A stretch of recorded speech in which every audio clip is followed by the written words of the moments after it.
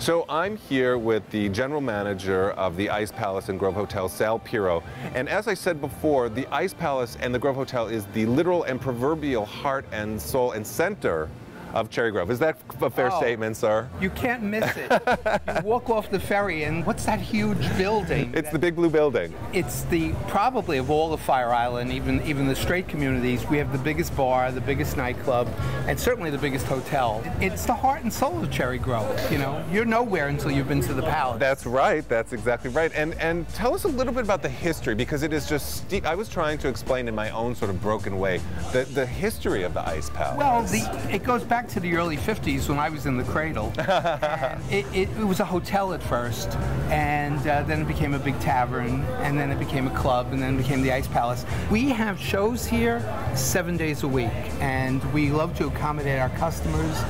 We have drag, we have Broadway at the beach, and this year we've already had uh, Justin Bond. And we're about to have Liza Minnelli next week. Amazing. Margaret Cho. Amazing. My all-time favorite, Sandra Bernhard. I'm going to be sitting in the front row. I can't wait. And what do you think it is about the Ice Palace and the Grove Hotel that makes it so special? I mean, it just everybody just flocks to it. I mean, it's just it's got such a great vibe to it. Well, it, there's a history to it.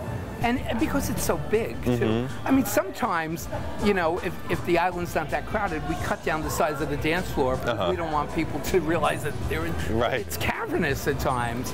But on a holiday or a special Saturday night, this place is the underwear party, wall to wall men. Wall to wall. Wall to wall men. And we're hoping to bring back that vibe from the 70s, you know, the pre AIDS era. Oh yeah. And I think that's coming back. The men are coming back. The young men are coming. Uh, the talent is here. People come for the shows.